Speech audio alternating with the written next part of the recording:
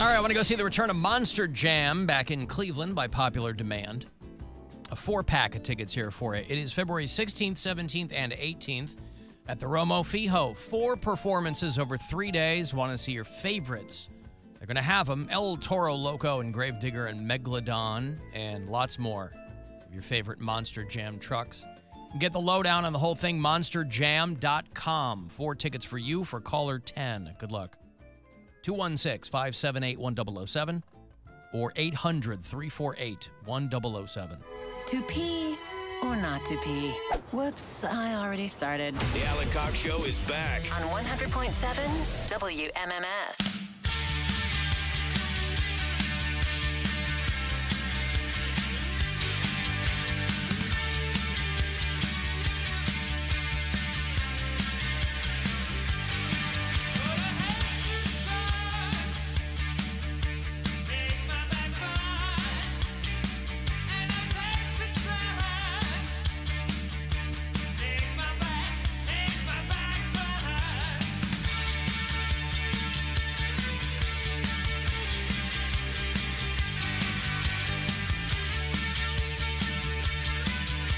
Man, remember the cult? God damn, these guys were good. Yeah, my parents are still in it. Hey! You what? My parents are still in it.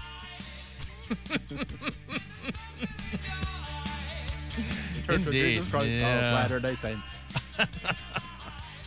Love the cult. Ian Astbury, I got to tell you, he is one of the most underrated frontmen in rock and roll. This album, the, the first cult album, didn't really do anything. They're still putting records out. They did something like a year and a half ago, I think, so they're still out there doing stuff.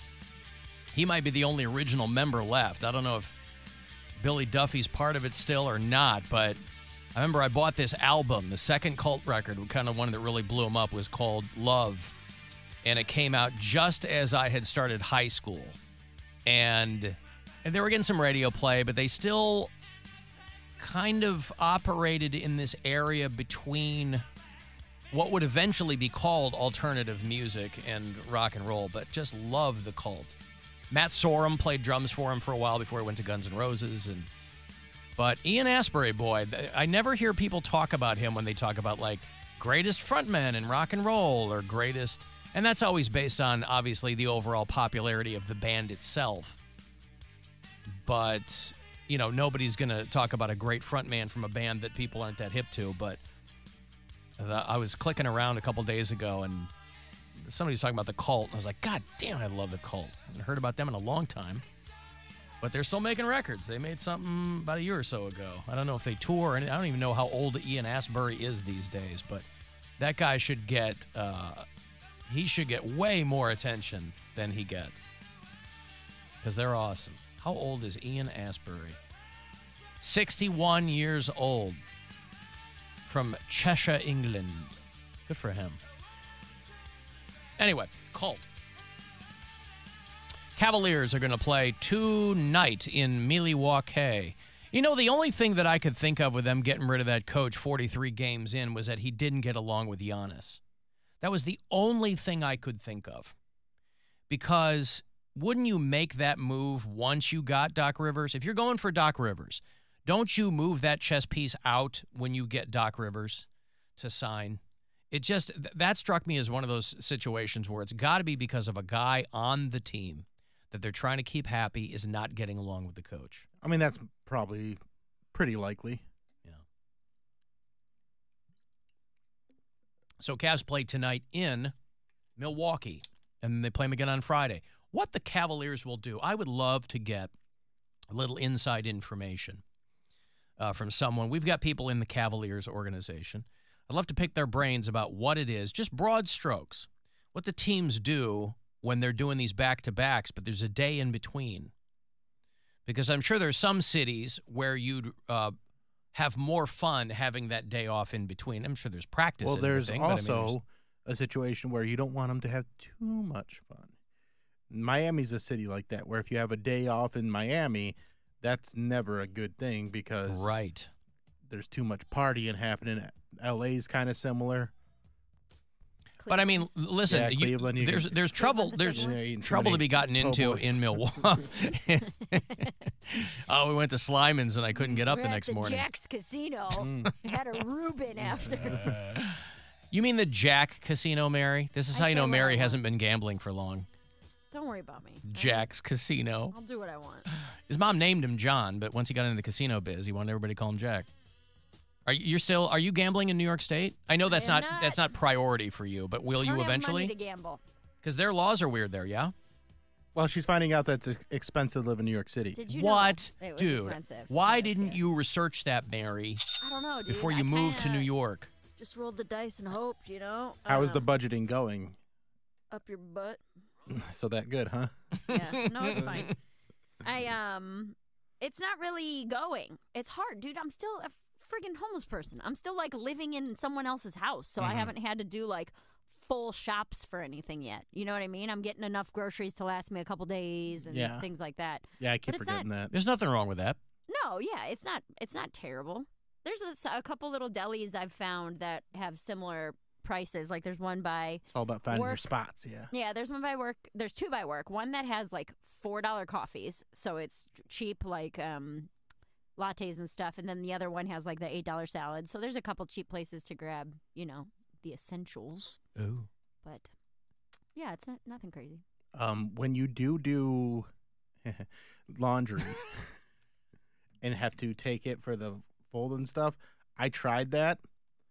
Uh, The my- fold, the fluff and fold. Yeah, and it was $1.99 a pound. You pound, tried in Lakewood. Yeah, and it cost me forty-eight dollars. Dude. I had a You lot of laundry. Twenty-four pounds. Twenty-four of pounds laundry? of laundry. Yeah, How long since you had done laundry? about three weeks. Jesus, Bill. What? 24 pounds of laundry. I mean, maybe go when you don't have. Why didn't you just break it up? Yeah, yeah, it's just like I, I had it all with me. I wasn't gonna be like, well, let's just do this much. Was the service Yeah. worth it? They did a great job. Yeah. It's a fantastic job. Everything's folded and put on hangers, and it, it saved me a ton of time. So I appreciate It's that. It's worth the money. Uh, but I don't know if I'll be doing that regularly. Yeah, but you're not going to every time bring them 24 pounds of laundry. right. Yeah. I mean, it, I I let wait it go too long. Do you wait that long to do it at your house? Sometimes I just go until I don't have any more underwear. I've done that before where I'll just go buy new underwear when I'm like, I'm not doing laundry. I'll just go I have a lot of underwear. I do too. So that's it's like, why it was yeah, so. it piles that's up. why it was 24 pounds of Right. laundry. So 24 pounds it's of actually just 20 underwear. It's actually 27 pounds of laundry, but I got a 15% discount. So. Hey, wow, it was at almost 30 pounds. Mhm. If you had rounded But I up. had like a few towels in there. I had oh, I see. uh, Uh, a some- few towels do not make it 30 pounds. I You had a mean- month. No, but I those are got four heavier than towels. some I other got things. like I had like four or five towels. That's that's Hmm. a good amount of towels. How often are you using a new towel? Uh, Every time. every few days. I'm always doing towels at our house because I use a new one every time. You use Oh. a new towel every shower. Yeah. That's wasteful. But You're why? No. water Why not? How am I wasting water? because you're gonna have to do more laundry. We have a lot of towels. I'm just saying. But how am I? wa- No. Mary's. Why would I Zoom- not use a different her- towel? It froze on the most judgy face. I have judgy faces.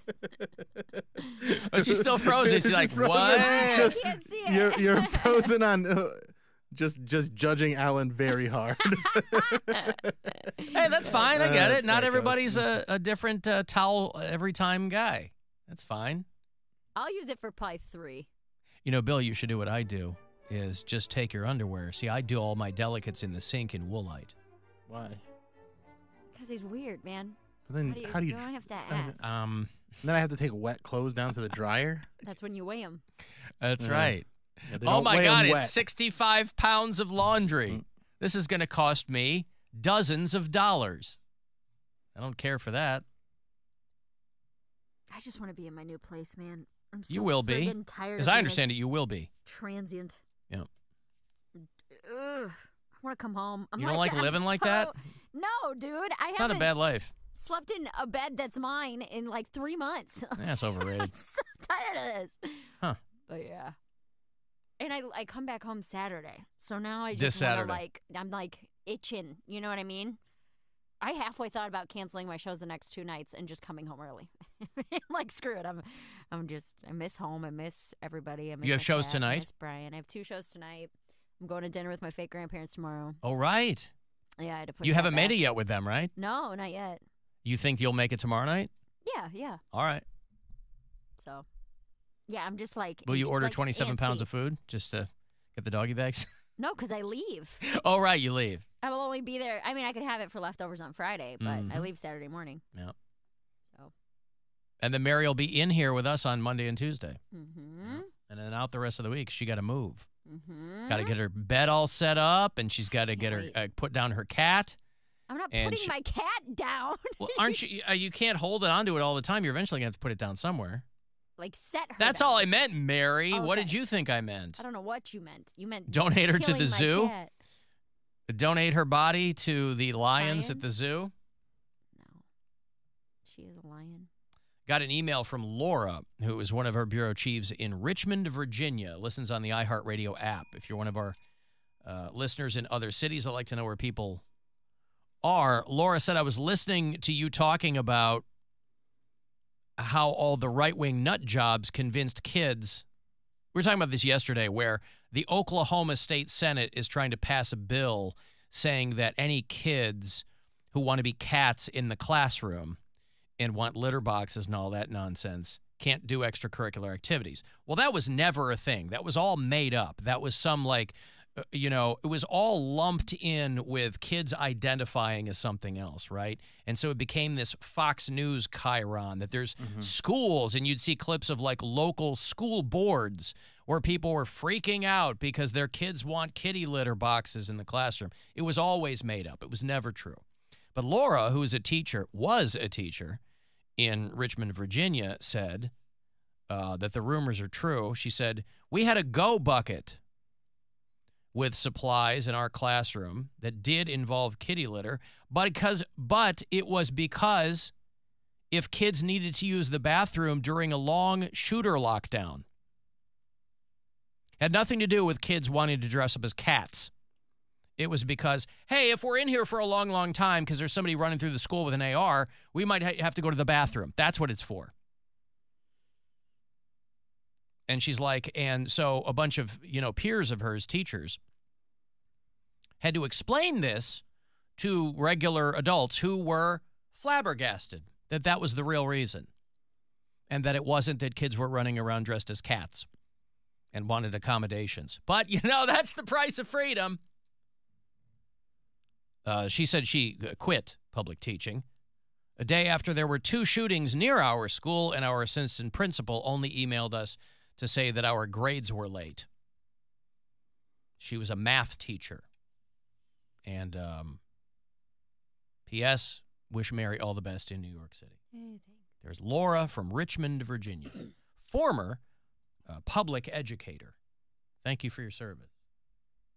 Hey, Alan, it's a first time caller. I heard the show earlier today, and hey, Alan, it's a first time caller. I heard the show earlier today, and how dare you not discuss with the King Bedbug himself, Jeffrey Allen LaRoque, for National Bedbug Day? You should know all too well. You should. You need to get him in there to comment on what he would have thought. That would have been a great bit. Swing and a miss, buddy. Love the show. Swing and a miss and not have Jeffrey. Yeah. Are you high? That dude's not getting within 10 feet of this room. I'm going to bring in the bedbug guy. That's the great bit. Yeah. We are talking about yesterday. Um, they do that bedbug list every year, and Cleveland was number four. Chicago remains king, but you got to work hard to have more bedbugs than New York. Chicago did it, but Cleveland and Akron number About focusing, setting goals, and achieving them. number four on that list. But um, I- I don't know what you are thinking that I would have a dude who is solely known for bed bugs in this room. That's their problem down there. I ain't making it my problem. You insane? No, no, thank you.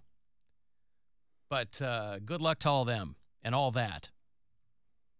Um, yeah, so uh, congratulations, Cleveland, Akron. You've done it again. It's got to be due in no small part to the University of Akron. No disrespect to them. But again, you'll see That's a lot. highly disrespectful. Well, it's not really because It also, is. like I said yesterday, also on that list is Champaign, Illinois. And that's not a huge town, but it's where the University of Illinois is, which is a huge school. So that's going to contribute. You're going to see lists of major cities, and then you're going to see what is that town? It's So, probably a college town. Is Cleveland on the list because we got CSU? Like, why? Why would? Well, no, Akron Cle- be Because no, we're no, a no. dirty rat hole. Well, because Cleveland's Cleveland. I'm saying that Akron is on that list probably because of the university. I don't know about that because I didn't. I don't either. I'm just speculating. I don't. I don't know anyone. And now, granted, not that you would really talk about it, but I, it, I was there for five years, and I, I don't know anyone that got bed bugs. Like people would, there would be townies sometimes that would be throwing out. Yeah, old but this No, no, no, I don't- This isn't current. I'm not. is- I'm also not necessarily talking about campus housing. Talking about like when you're living in the student ghetto, or you know, like my I- I first understand. college I lived the- apartment. they're and- all hell. You know, they're all hellholes. And, Yeah, we had we lived in a college neighborhood. It, it was like a college ghetto. I lived in a big house with like with six people, or it was five, six of us all together, but I had five other roommates. And the only time anyone would ever get any bed bug or infection or rash would be because they're taking furniture that old college students are throwing out, like that was like on the street. And they're like, "Oh, that's that's a you know a door we can use," or uh, you know, there it got termites and it's an old kitchen or coffee table or old mattress. Like, yeah, you don't take that stuff off the street. But I don't know anybody that was really doing that. So, I mean, there's a bunch of dirty people that are residents that live in the student ghetto. Like, they, they just live there. They, they just never left. So it's just Akron residents that live amongst the students.